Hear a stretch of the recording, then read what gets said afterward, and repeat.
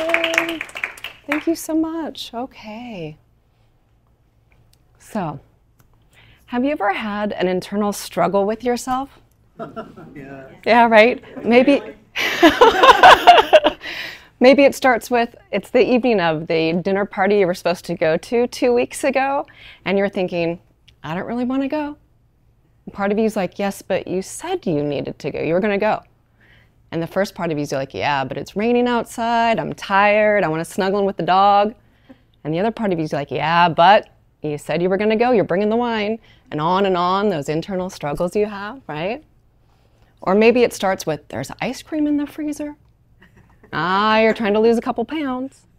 I know, but it sounds really good right now. No, no, no, no, no. Well, I'll just eat a couple of bites.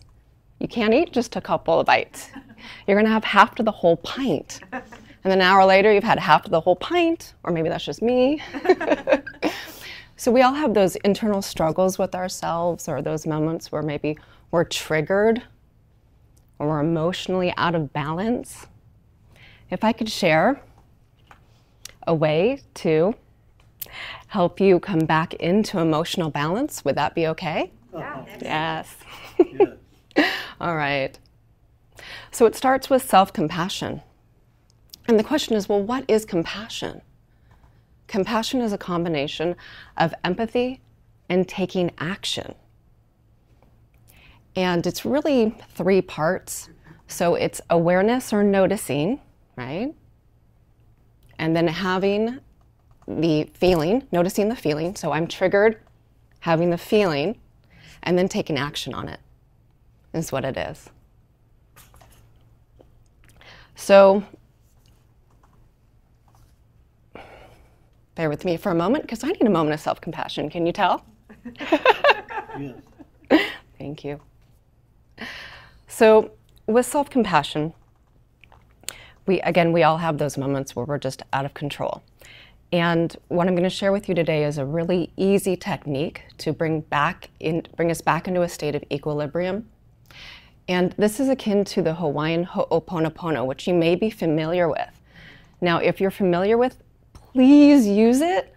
But what I'm going to share with you today is a shortcut version of the Hawaiian Ho'oponopono.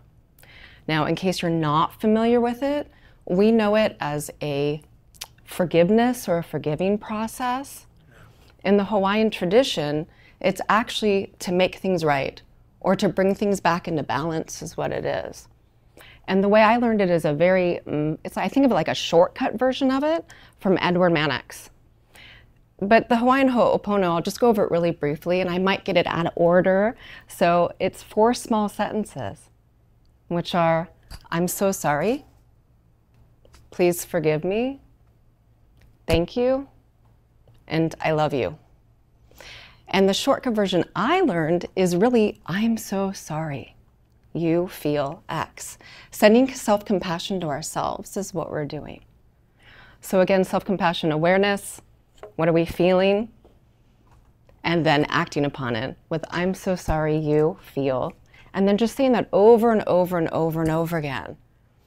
And I know this seems so simple. How can this work, Kelly? Just by sending compassion to myself. So simple. So the why it works is as we look at the research on self on compassion actually. So the research shows us shows us that compassion is it's equated with the reward and pleasure part of the brain. And then love is equated with the reward and pleasure part of the brain.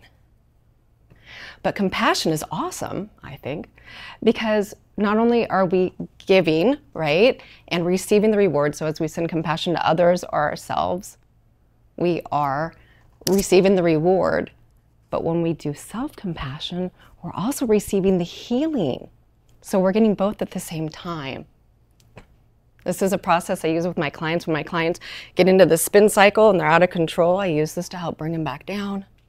In my own personal life, I've used this to help heal some limiting beliefs that I have, heal my relationship with money, bouts of insomnia. I've used it anywhere I can think of.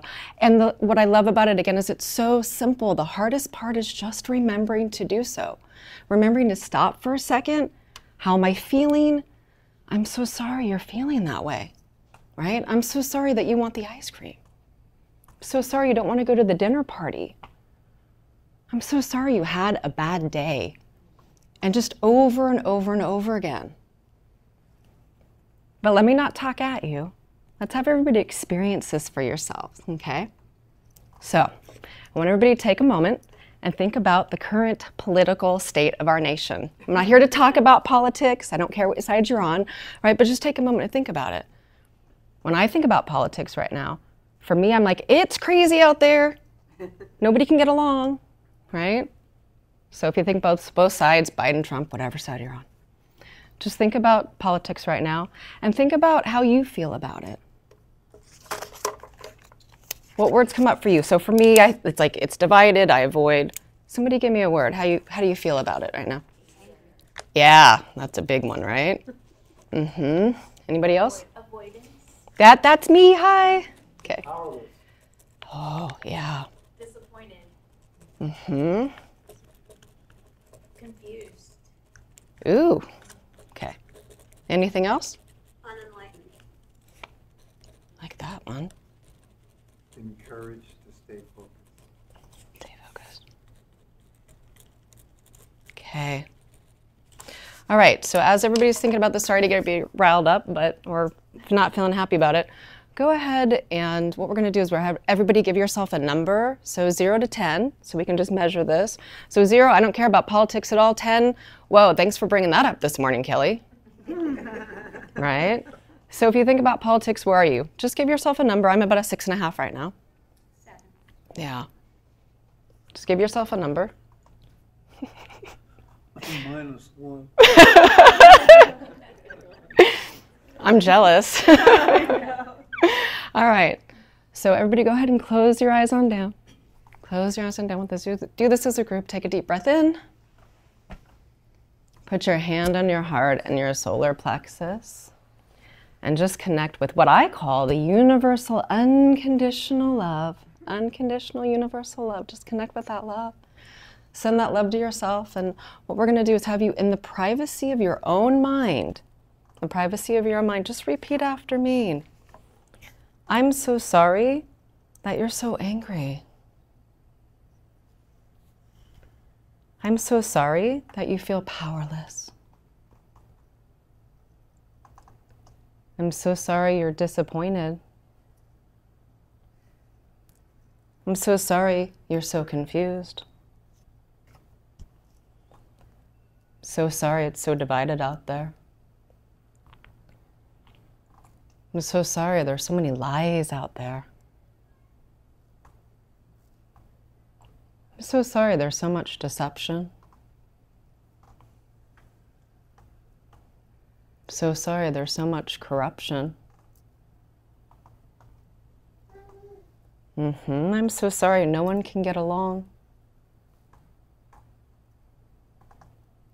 So sorry so many people are so unenlightened. So sorry you're so sad. So sorry you're so sad. So sorry you're so angry.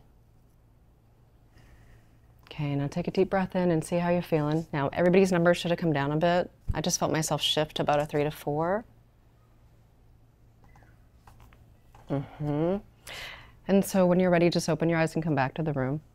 So sometimes it gets to be that easy. The hardest part in this is just making sure that it's just remembering to do so, right? So just having the awareness I'm triggered, I'm out of control, I'm having a bad day. How do I feel? And then sending that compassion yourself. I'm so sorry, you. And I wonder, as you start to incorporate this into your daily life, what miraculous things will change for you. Thank you so much.